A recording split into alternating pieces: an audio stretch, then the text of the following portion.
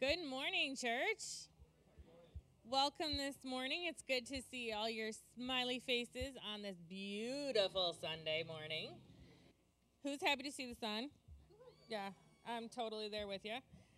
Please stand and let's worship.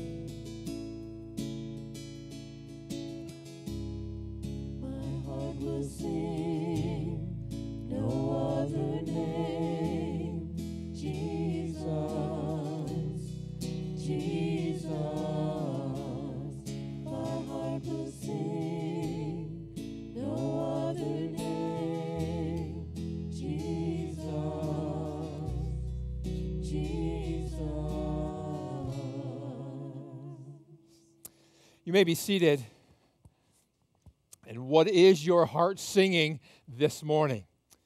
I trust that uh, you've come ready to worship uh, our Lord and Savior this morning. And good morning. It is great to have you here this morning. I want to welcome you, whether you're worshiping here with us online or whether you're here in person or later watching it on the public access channel. It's great to have you worshiping with us this morning, and it's good to see you here on this, as Carrie said, this wonderful, beautiful spring Sunday. It's great. It's great to see the sun and have the sun shining um, and the warm temperatures. A couple of announcements um, just to call to your attention. Don't forget, um, uh, last week we handed out the Easter lily form. There's, if you don't have one, there's one. Um, some of them outside the office door, or we've emailed them. Uh, by next Sunday, we need Carrie needs those in. Um, so uh, drop them off at the church office or um, uh, give it to Carrie after church this morning. Also, don't forget that uh, Chick Chat is next uh, Sunday after church. Um, ladies that are involved in that, uh, bring your lunch and um, stick around after church next Sunday. Also, in your uh, announcement sheet is um, the little blurb there about uh, saving the date. And don't forget Easter extravaganza. We're having a drive through Easter extravaganza um, on April 3rd. Yes, April 3rd. Um, and uh, we need lots of candy for that, so uh, uh, be bringing that in. And uh, there's a new ladies' Bible study that will be starting up in, in April as well. If you need more information or want to hear more information about that, uh, you can see Lynn Hannon on that. Um, and don't forget this morning to sign in um, on the registration booklets there on either end of, of the pew. And um, our offering boxes are out in the lobby or, or by the church office door as well. Well, it's good to have you here this morning. Um, have you come with your cups right side up? Ready to hear, right? If you have your cup upside down, if you're in a restaurant and you don't drink coffee, you turn your cup upside down, what does that mean? I don't want coffee, right? You can't, you can't fill it very full if the cup's upside down. And uh, this morning, have you come with your cup right side up? Ready and willing and wanting to hear. Again, whether you're here in person or whether you're watching, worshiping with us online this morning, is your cup right side up, ready to hear what God has to say to you today. Not what I say. I do hope you listen. But more importantly, what God has to say to you this morning. And so, in that, let's, let's just bow for prayer here today. Father, it's good to be in your house. It's good to be in your presence. It's good to be with other believers. And Father, I just pray that your Holy Spirit would settle upon this place, would settle upon each home where people uh, are worshiping with us online. Again, as we have prayed in times past, I, I thank you so much that you are not uh, confined to a certain space or to a certain building but Lord, you are everywhere. And so, as much as we ask that you would be here and show up in a powerful way here this morning, Lord, I pray that you would settle upon each living room, each kitchen, each place where people are, are worshiping this morning and, and tuning in. Lord, we don't want this just to be a gathering of people today. Lord, we want you to be in the center. Lord, that we would be open and willing to hear from you and what you have to say to us this morning. Yes, it's great to hear what other people have to say, but Lord, we need a fresh touch from you. We need to, to hear what you have to say to us this morning. So, in spite of all the distractions and all the things on our to do list and all the activities of today and the beautiful weather and, and all the things we want to get accomplished outside, Lord, may we tune into you. We say with the psalmist, This is the day that the Lord has made, and we will rejoice in it. And so, Father, I pray that our worship this morning, all aspects of our worship, would be pleasing to you. You are an awesome God. We thank you for your blessings. We thank you for your faithfulness. We thank you that you don't change, that you are the same yesterday, today, and forever, and in that we stand. Thank you, Father, for what you're going to do this morning. We love you. We praise you. I just ask all this in Christ's name. Amen. Let's stand as the worship team comes back and just continues to lead, lead us in worship.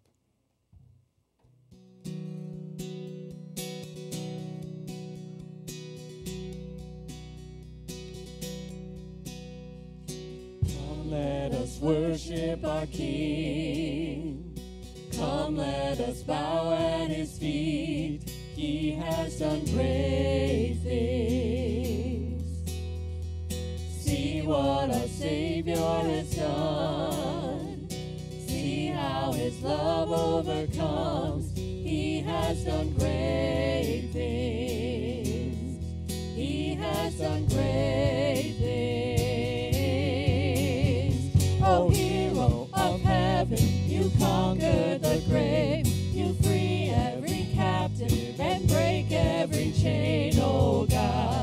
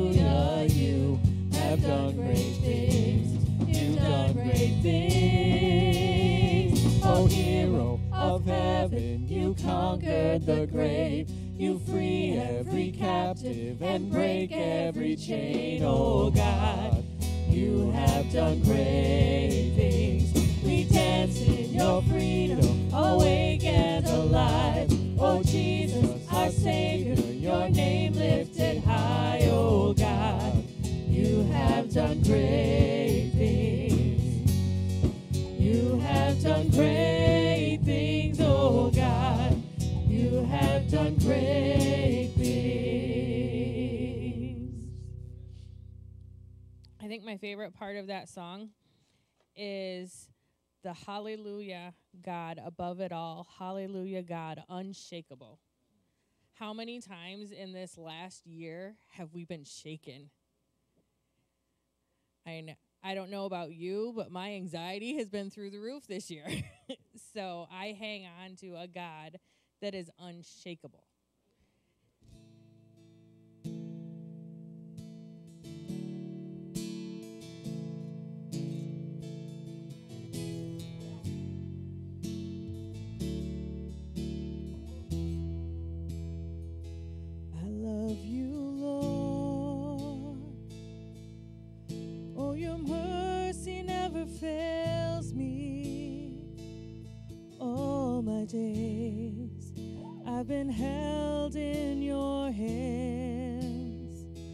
From the moment that I wake up until I lay my head, I will sing of the goodness of God.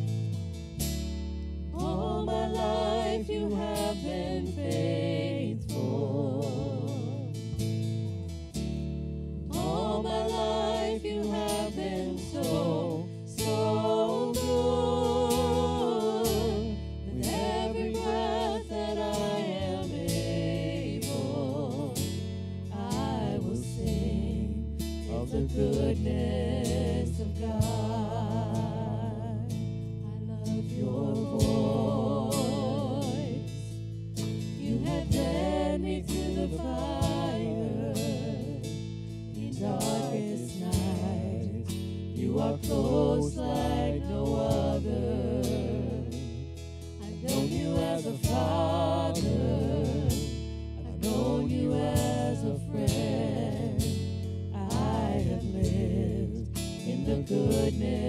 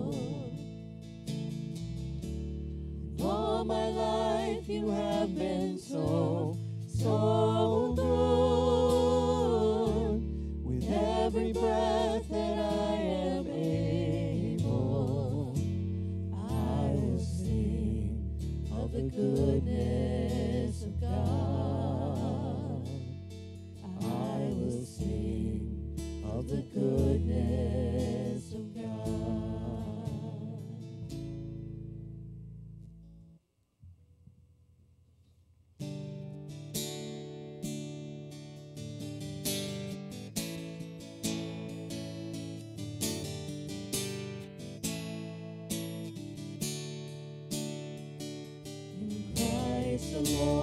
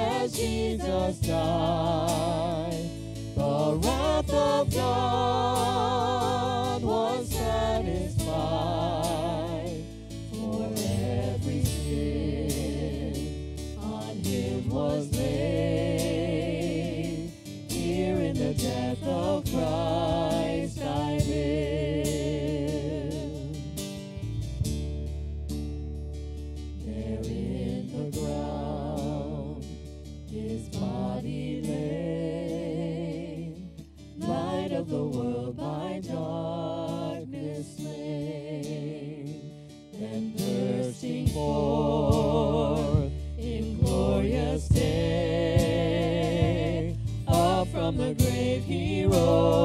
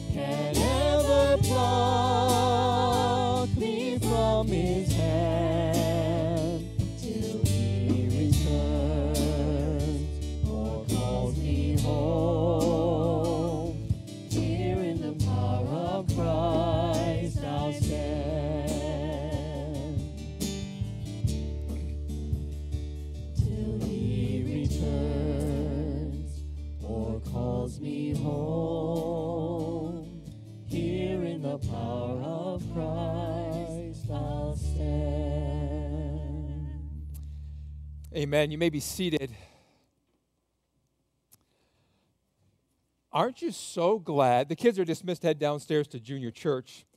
But aren't you so glad that Easter isn't just once a year?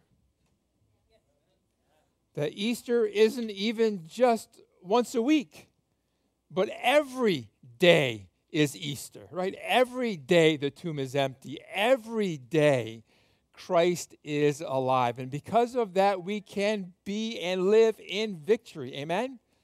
Amen. That uh, Easter is not just, yes, we celebrate it two weeks. Two weeks from today is Easter, yes. Um, and we'll celebrate it then, but every day is Easter for us as Christians, as believers. And really, every day is Easter for everybody, right? Regardless of, of what you believe, or regardless of uh, what your religious beliefs are, it doesn't matter. The truth is, Christ is alive, and the tomb is empty. Let's pray, Father. We thank you for that promise. We thank you for the hope that that gives us in spite of the anxiety and the pressures and the craziness of this world and our life. Lord, we thank you. We thank you that the tomb is empty.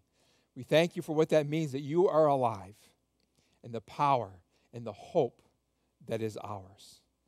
Lord, forgive us. Forgive us for those times that, that we live as if you're still in the tomb, as if you're still hanging on the cross, thinking that we have to do it in our own strength and our own power, that we have to make it happen somehow.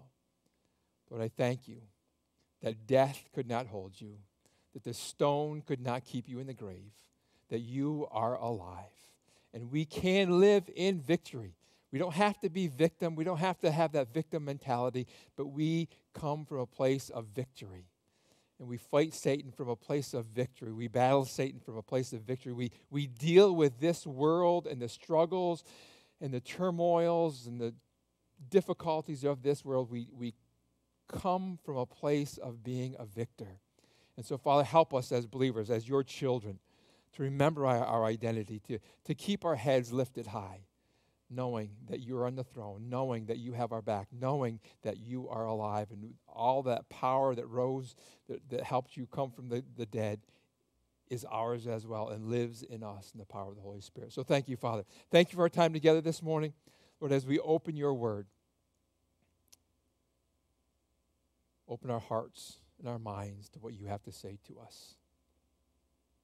Thank you for your presence here this morning. We ask all this in Christ's name. Amen.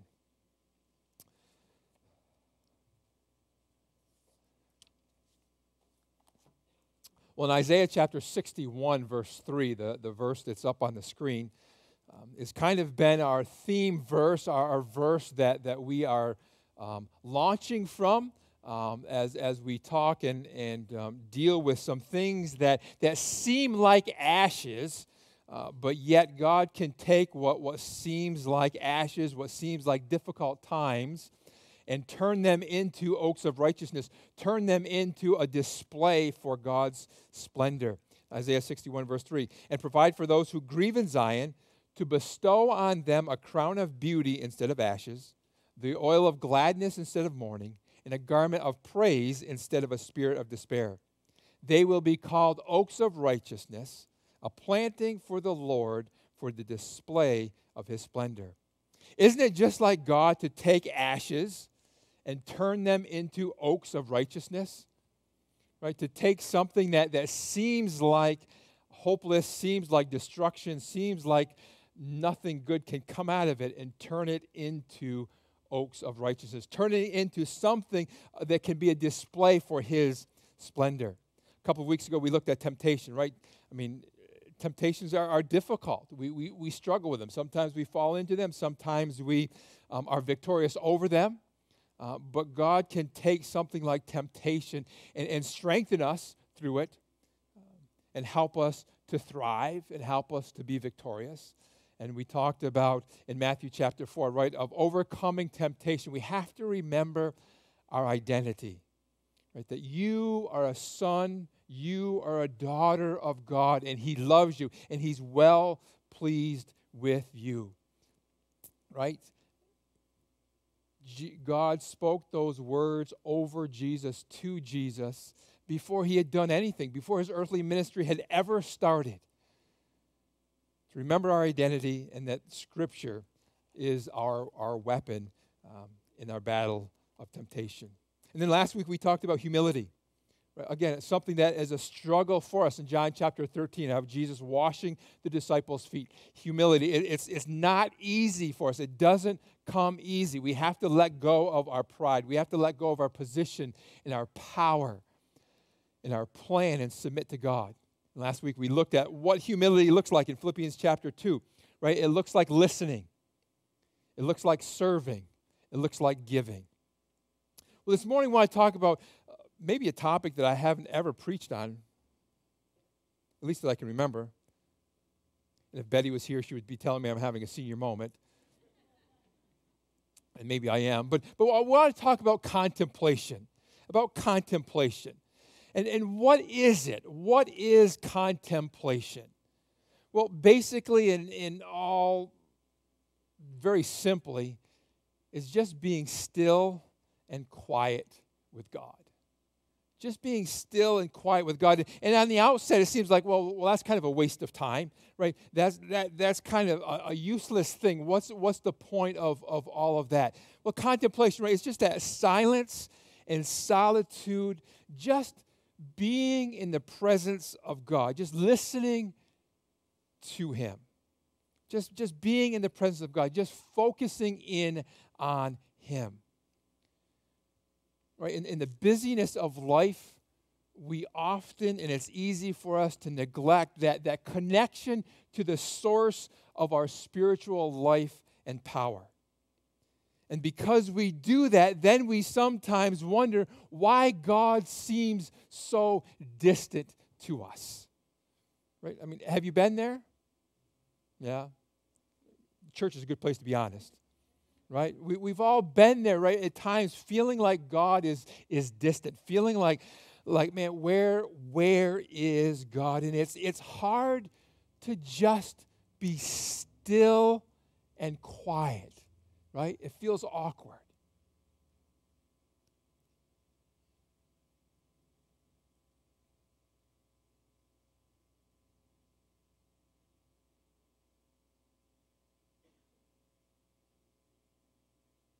You know how long that was? 15 seconds. Seemed like a long time, didn't it? I was going to do it for a minute, but I couldn't do it for a minute. Right? it seems awkward. It seems awkward, right? Yes, it's great to worship and be in church. It's great to worship corporately. It's great to worship online. It's, it's, it's beneficial to listen to Bible teaching, and preaching on podcasts and the radio and TV. It's, it's beneficial to go to Bible studies. It's uplifting to listen to worship music during the week. It's, it's great to have prayer time in your car on the way to work and to offer those shooter prayers in the midst of a crazy busy day. But there's a closeness with God, a spiritual strength and power that comes from being still and silent before God. Just uh, meditating and, and, and focusing on Him. Isaiah chapter 30, verse 15 says, In repentance and rest is your salvation. In quietness and trust is your strength. And then God goes on to say, does anybody know the rest of that verse? But you would have none of it. But you would have none of it, uh, none of it. In repentance and rest is your salvation. In quietness and trust is your strength, but you would have none of it. Boy, that was written thousands of years ago. And how applicable is that to you and I and me in my life, right? Of, of we struggle to have that quietness of just meditating and focusing and contemplating on who God is and what He has done for us. And, and, and I'm coming this morning certainly not from having this down by any stretch of the imagination. Do you remember when your children were young, or maybe your grandchildren were young? And, and you might be reading a book and they might be playing, or you might be watching TV or, or cooking or, or doing something in the house and, and they're in the same room or maybe the next room but but all of a sudden the, your, your young toddler would come running up to you and, and, and, and just want to hug. If you're sitting in a chair just run up and climb up and, and, and, and hug you. Maybe not even say anything or ask anything. They just needed a hug from mommy and daddy. They just needed a hug from, from grandpa or grandma that be, just being in the same house, just being in the same room wasn't good enough. Right? That they just wanted to hug. They just needed a hug. You remember those days? Even this morning, little Elijah, right? He's old enough to walk in, but he wanted mommy to carry him. It wasn't enough just to be next to mommy. It wasn't enough just to hold mommy's hand. He wanted to be held by mommy.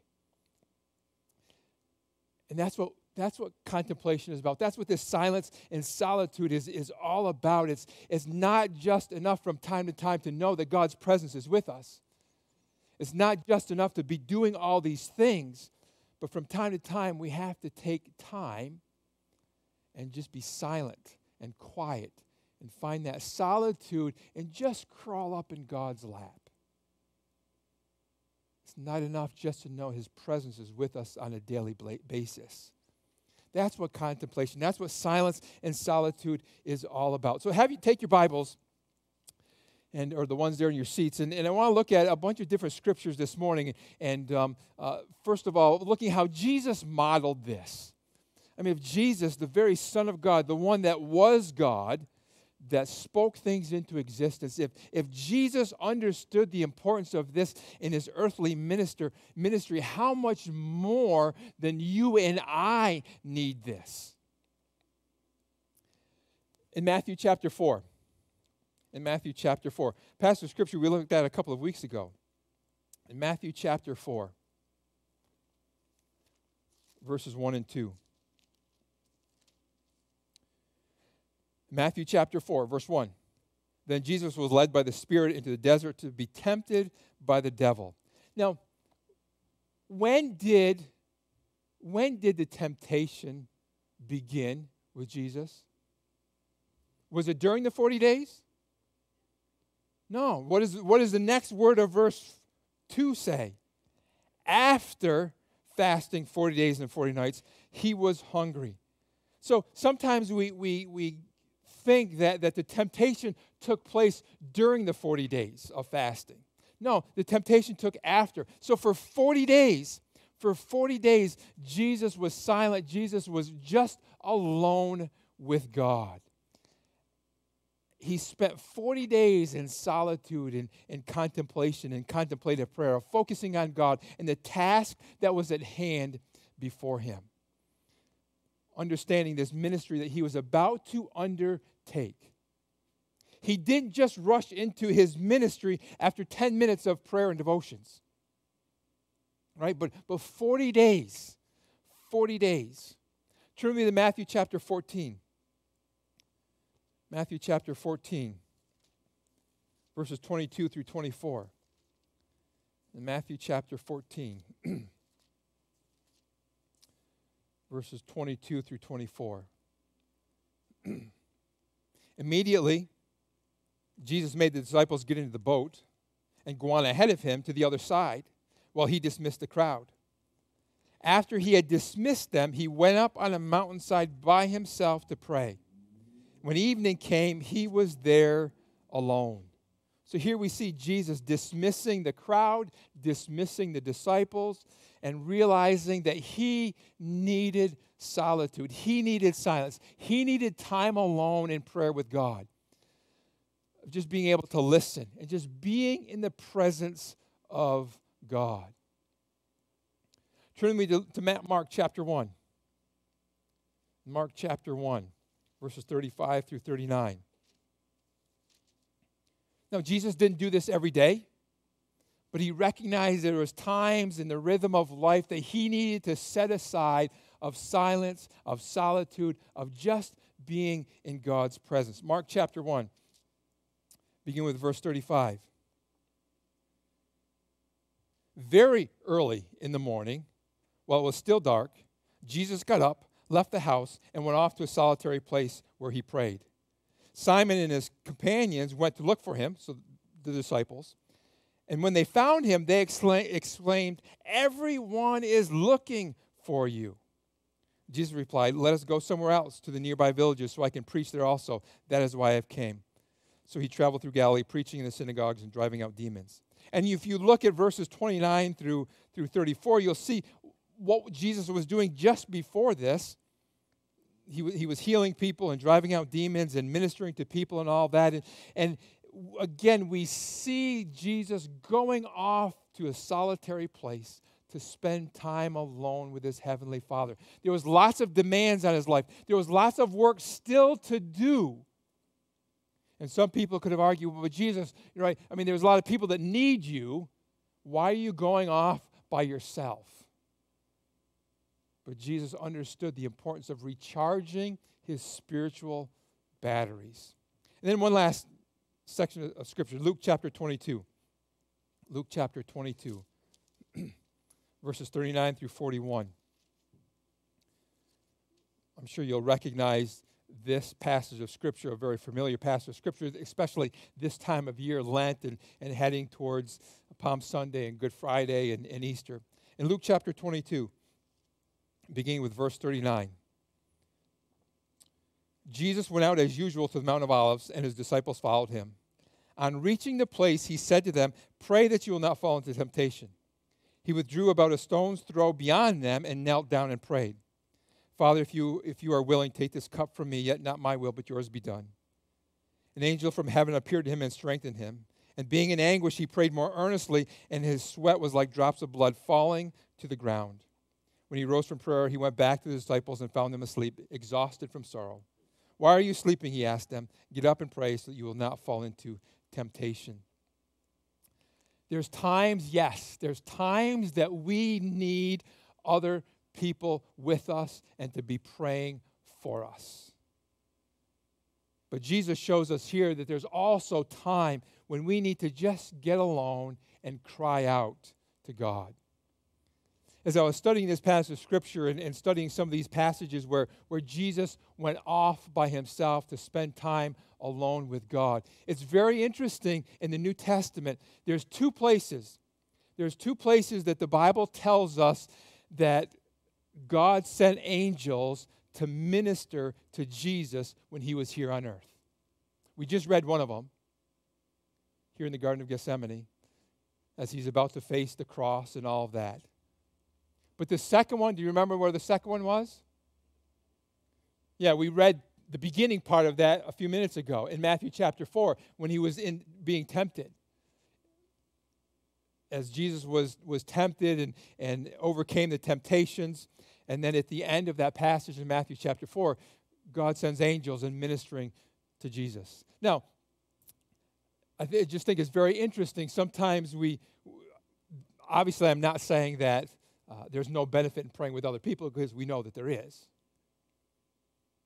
But I think Scripture, the Holy Spirit, inspired uh, these different men to write about these events, reminding us that there is times that we just need to get away and be with God in silence and solitude and pouring out our heart to God, and that God can minister to us in those moments. And so we see Jesus modeling it, right? And in our heads, we, we probably understand the benefit of it. But, but why do we struggle with this idea of silence and solitude before God? A couple of things. Two things we're going to talk about. And there's certainly lots of other excuses that we have. And one of them is busyness. Is, is busyness. We live busy, we live full, we live overscheduled lives. We seem to go from one moment when we get out of bed to the, and just fill our moments from the moment we get out of bed to the moment we lay back down again. And we face stimulus again from the moment we get up to the moment we go to bed. For many of you, what's the last thing you check before you go to bed? Your phone. What's the first thing you check when you get up in the morning? Your phone. Or maybe the last thing you turn off before you go to bed is the radio or the TV. And what's the first thing you turn on in the morning when you get up? The radio or the TV. It's so easy. We, we, we are constantly bombarded by things. We, we, we dislike silence. We dislike solitude.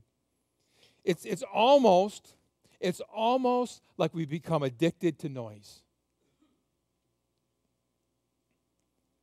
And we're busy. So, so carving out time to just be silent with God is it's, it's hard. Right? It's just easier to do stuff for God than to just be with God. Right? So we keep busy doing things for God and we, we skimp on being with God. We, we, we think that if, if I can just, you know, I'll read a, a passage of scripture, pray, and then I go. Or we just, you know, it's so easy to just fall into that trap of being busy. And so, so busyness is an excuse. I think another reason that we find it hard to do is vulnerability. Vulnerability.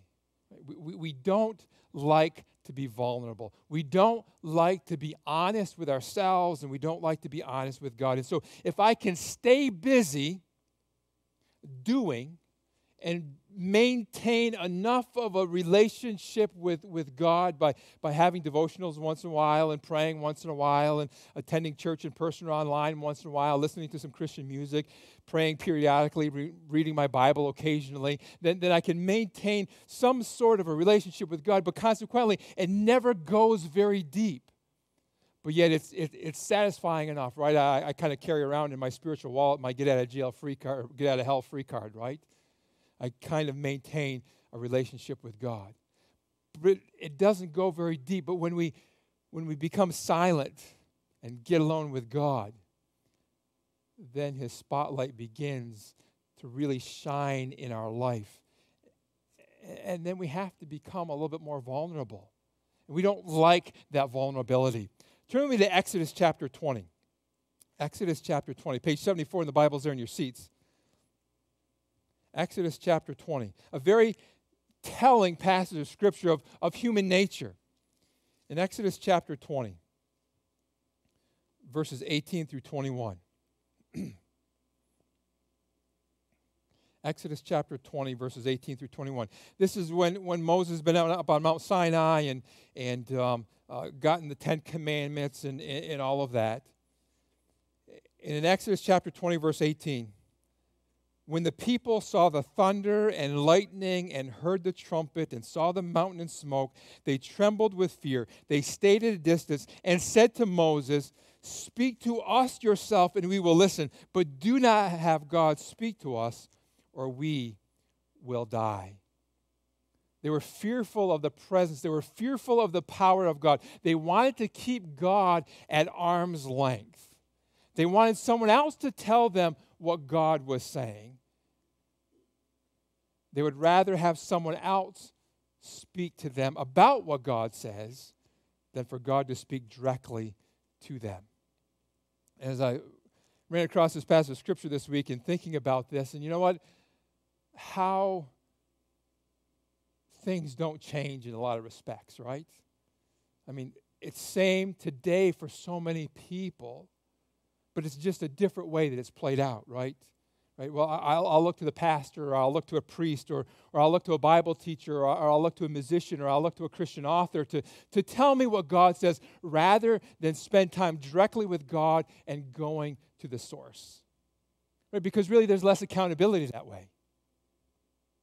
Because if God speaks directly to you, and I'm not saying that God can't speak to you through these other methods, but there's something about when God speaks directly to you, that there's, there's accountability there.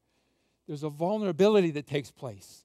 And, and it's, it's much easier and much more comfortable to have someone else tell us what God says rather than go directly to the source. And so here we have Exodus chapter 20 where the people say to Moses, Hey, you, you tell us what God has to say. We, we, we don't, you know, we're afraid of what God is, is going to say. We're, we're, we're afraid of the presence and, and the power of God. And now turn with me to Exodus chapter 33, a number of chapters later in Exodus chapter 33, verse 11. We see how this, how this plays out. In Exodus chapter 33, verse 11, the Lord would speak to Moses face to face as a man speaks with his friend.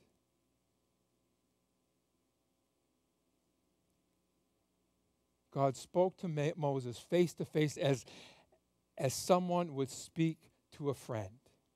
And earlier in that passage, and earlier in, in, Exodus chapter 33, it says that, that while Moses was speaking to God, while God was speaking to Moses in a very real, a very personal, a very intimate way, the people were in the doorway of their tent worshiping God.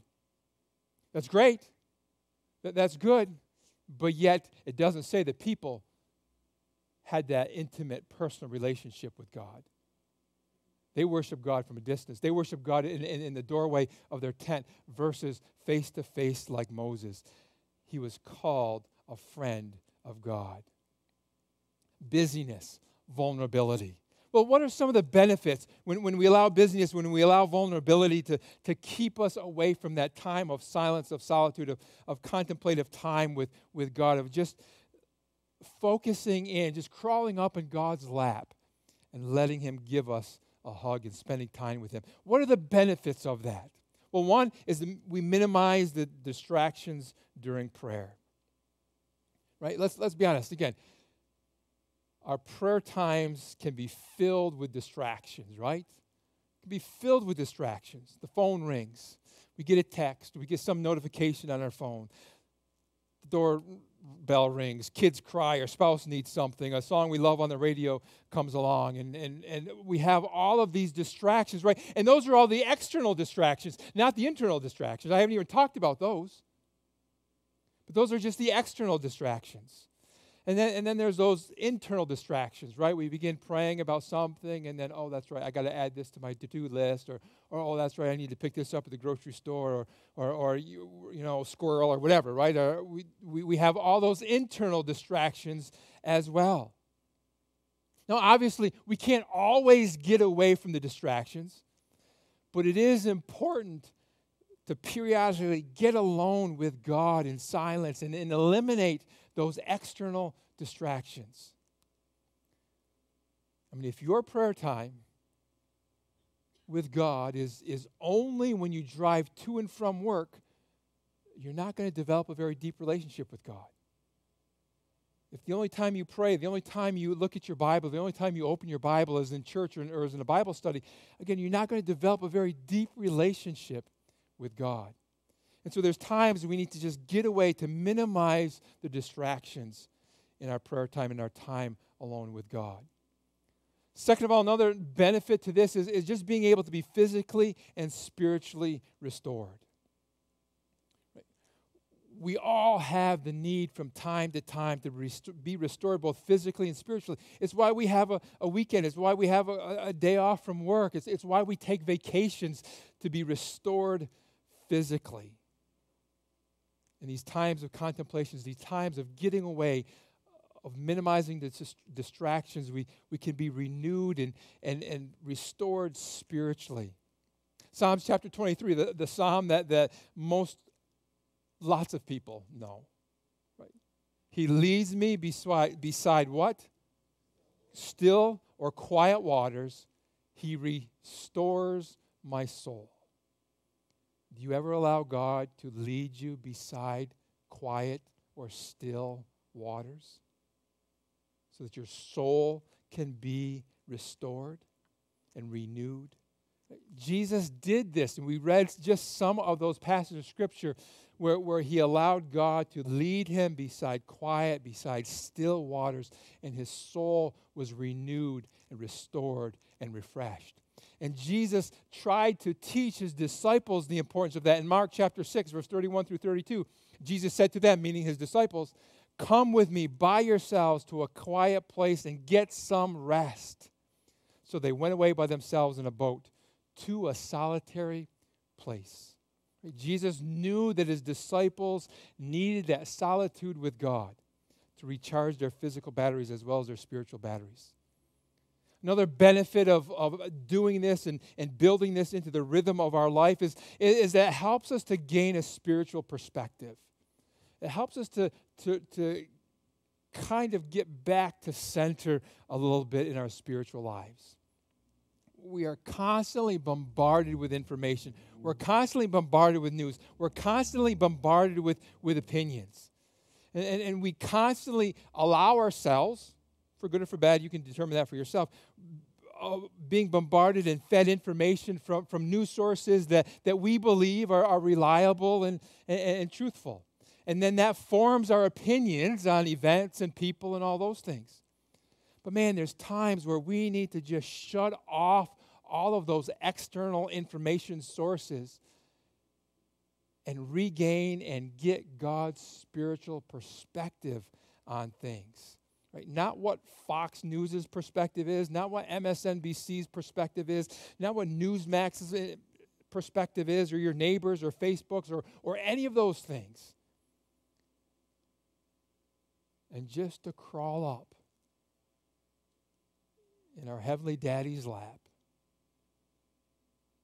and to gain a spiritual perspective on the things that are happening in our world and things that are happening in, in, in our life. To gain and regain God's perspective on things.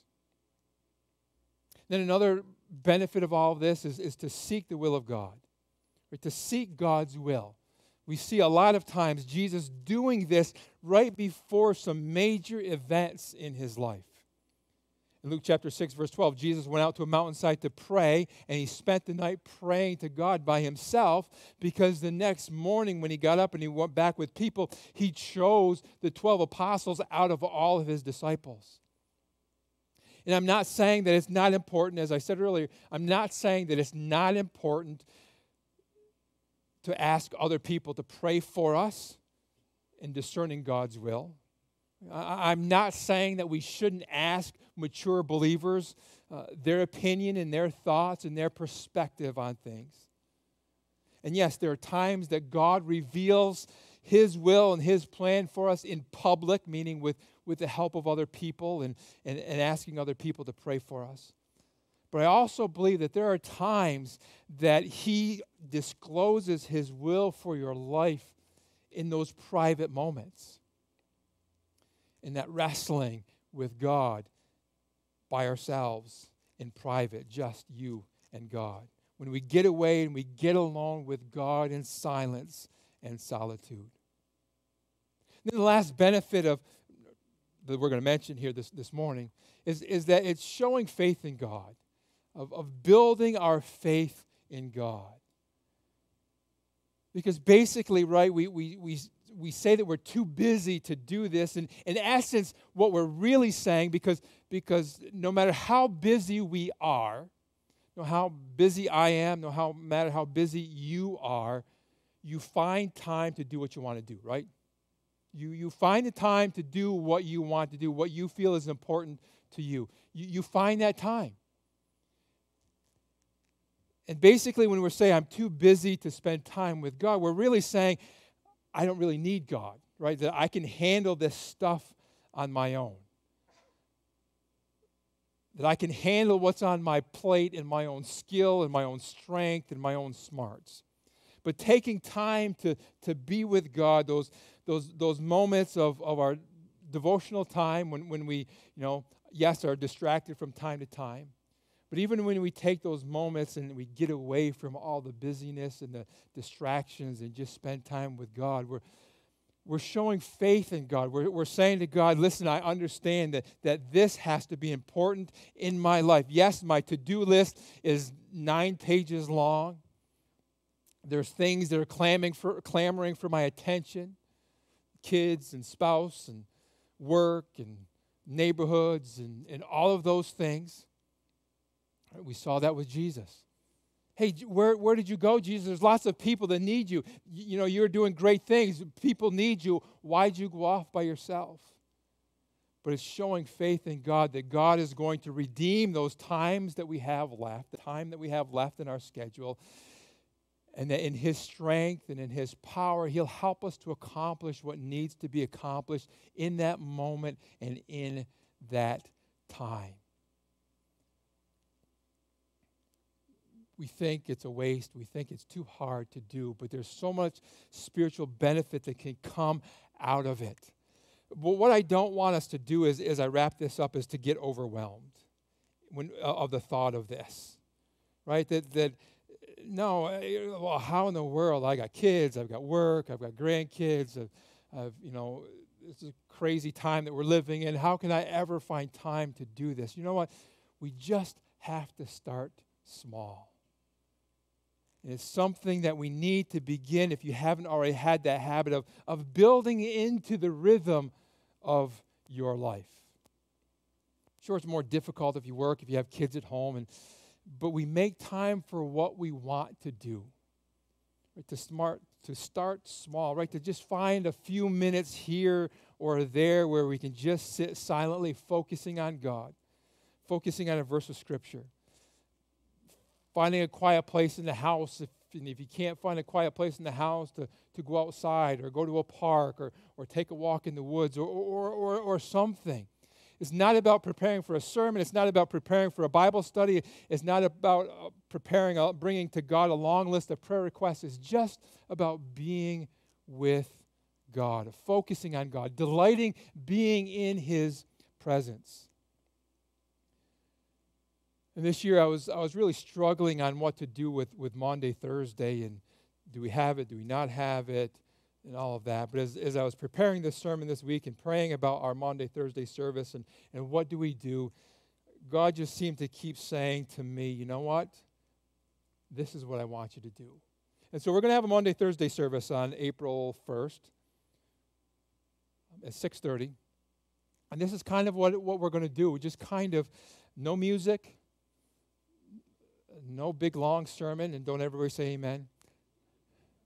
Just a, a couple of passages of scripture, just a time to come and sit. Yeah, we'll have communion, we'll share communion together, but just to have some quiet time to come, to sit. I'll share a few passages of scripture, we'll have some time in prayer, but just to take some moments to crawl up in God's lap and just to be in His presence. So, you know what? It's not enough that I'm in the same room. It's not enough that, that I know God is with me, but just to be with God.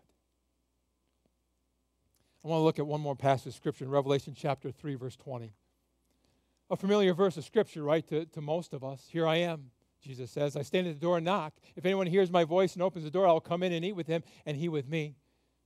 A lot of times we look at that passage of Scripture and we say that this passage of Scripture in the, in the book of Revelations is dealing with unsaved people, right? That, that God is knocking at the heart of unsaved people. And if, if they would just open the door, then, then God would, would come in into their life and, and forgive them their sins and have a relationship with Him. And, and yes, that this verse is applicable to that context.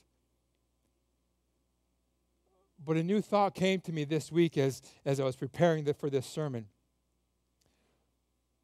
Who were these words spoken to? These words were spoken to a church. These words were spoken to believers. These words were spoken to Christians. This was what, what Jesus said to the church at Laodicea. And in, in the previous to these verses, Jesus is, is coming down hard on them because they're lukewarm.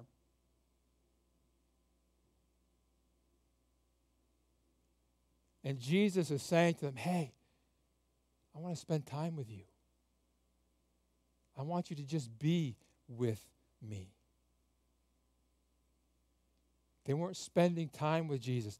Busyness, vulnerability, or, or whatever their excuse was, right? They weren't spending time with Jesus one on one. They were letting someone else say what God was speaking. They weren't spending that time with God. Jesus is wanting to, he's inviting them, he's longing to be with them, but they're not hearing or responding to that invitation, to that knock of Jesus. And Jesus is doing the same thing to you and I, right? That he's longing for you to just climb up in his lap and snuggle with him. Father, forgive us for using all kinds of excuses, busyness, the coronavirus, season of life, whatever it is, of not taking time just to be with you. Oh, yes, from time to time we have our devotions and we, we bring our, our list of prayer requests. We, we, we read a passage of scripture from the daily bread or, or whatever we felt led to, to read in that day. And that's great. We need those things. We need church. We, we need Christian music. We need Christian books. We need Bible studies. All those things are important. But Father, may that not be enough for us. Lord, help us to build into the rhythm of our life those times where we can just get away and crawl up into your lap and just be with you. Lord, we need it. We need it spiritually, we need it physically. Lord, and you long, you long for those moments where we just crawl up in your lap and you hug us. We just spend a few moments in your presence, focusing on you, focusing on who we are in you. And so, Lord, help us not to buy into the lies of Satan. Lord, help us to realize and understand. We sing this song that we're going to sing in just a few moments that, that your presence is heaven to us. But, Lord, may it not just be words on the screen, may it not just be words that the worship team sings, may it not just be words we sing. But, Lord, may it be a desire, may it be the reality of our lives that we want. We understand that those moments with you are truly heaven. In your name I pray. Amen. Let's stand as the worship team comes and leads us in this song.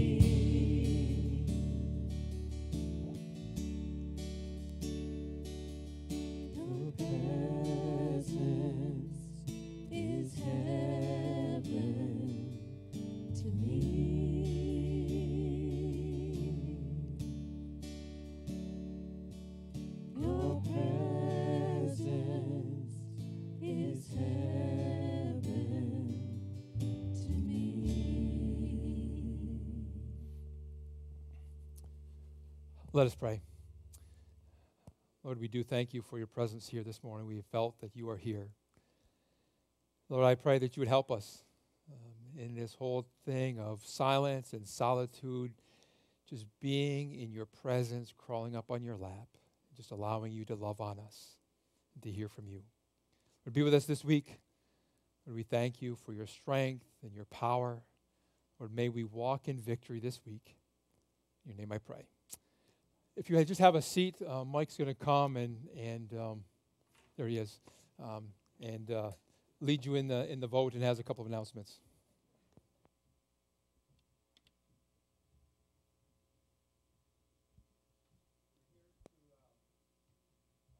the leadership of the Community Wesleyan Church in Baldwinsville, New York. But first, we'll take a 10 minute break. If you need to leave or you need to use the restroom or stretch, uh, we'll see you in 10 minutes.